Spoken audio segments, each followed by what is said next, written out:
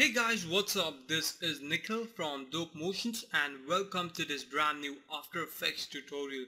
Today, we are gonna take a look at creating this kind of really cool and interesting text jittering effect into After Effects and as you can see, this effect looks really cool and really awesome. This is pretty straightforward effect and it is pretty simple to create. So let's just get started pretty quick and I'll show you how to create this awesome effect. Okay, so first I'm going to create a new composition and I'm going to name this tutorial 1920 into 1080 and we can just keep this 30 frames in 10 seconds. Okay, looks good. Then I'm going to create a new solid and name this BG for background and select kind of a subtle yellow color just as you saw in the preview.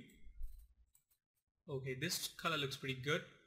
I'm just gonna log this layer. Then I'm gonna create a new solid and name this fractal. Okay. Then I'm gonna hide this layer for now and create the text that we want to add the effect on. So I'm gonna name this motion graphics. You can name of course whatever you want.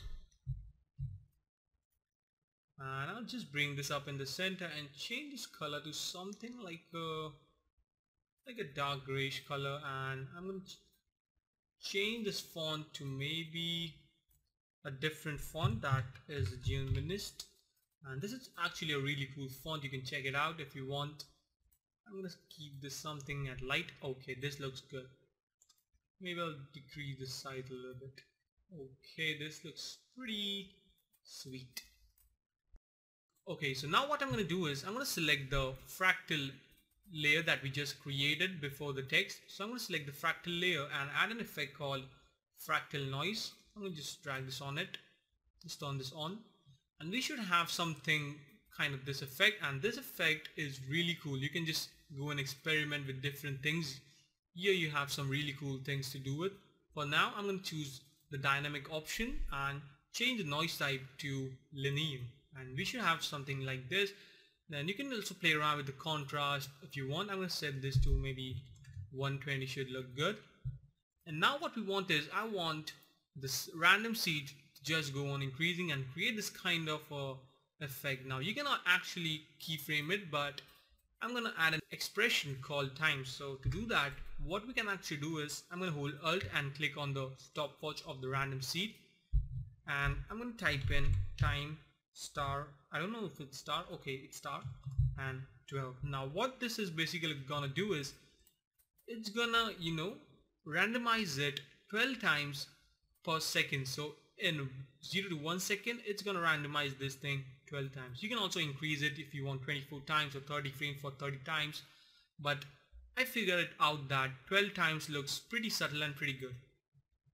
Okay now what we have to do is I'm gonna pre-compose this let's name this fractal noise.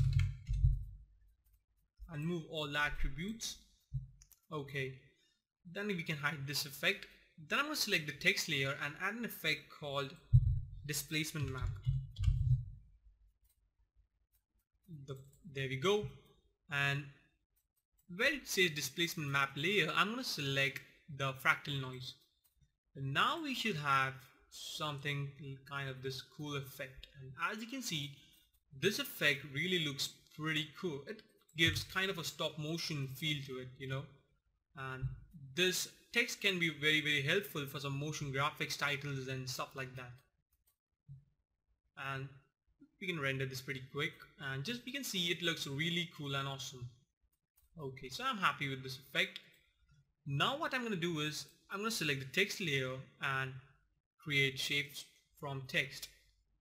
Now I'm going to go and add trim paths to it. And now what this is going to do is this is going to give us that really cool and interesting text reveal effect as you can see. Because now the text are converted into shapes. So they are no more a text layer. They are actually particular shape. As you can see we have shape on every alphabet. So yep you can see it looks pretty cool you can also offset this thing if you want to animate in a different way you can see it looks pretty good but I'm gonna set this to zero okay So now what we can do is I'm going to go to all the way at the beginning of the comp and hit on the end stopwatch. Go to maybe one second and set this to 100. Okay, so we have this cool looking text reveal effect. We can also, you know, easy ease this by hitting F9.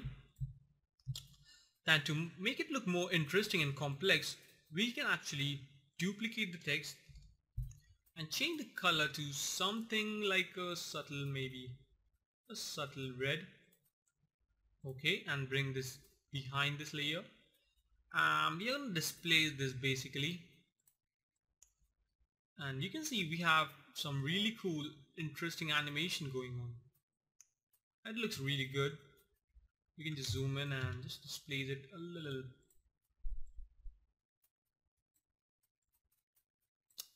Okay we can change the gray color to something like a like an interesting color. So oops sorry for that. Change this to maybe kind of a yep this looks good. And one more thing that we can do is if I just make it a little bit closer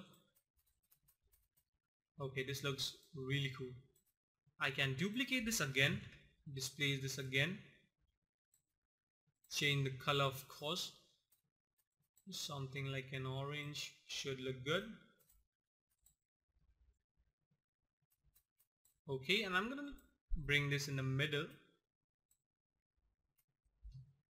Okay and I'm gonna add an effect called Venetian blinds. I hope I spelled it right. Yeah Venetian blinds of course.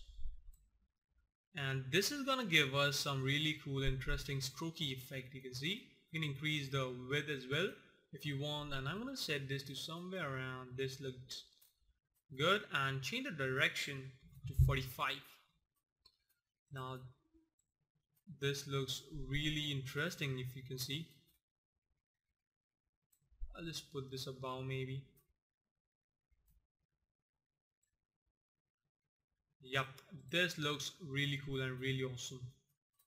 And as you can see by creating some basic shapes and some basic techniques you can achieve some really cool and interesting motion graphics text effect into After Effects. So I hope this tutorial was helpful to you guys and if it was don't forget to subscribe, comment and like and I'll see you in my next video. Till then take care. Thanks for watching guys. Go. Sunset high and blood rush in a hazy glow. My hands still cones, loose up, we break the scene. One step deep as you fall to me. Hot, hot.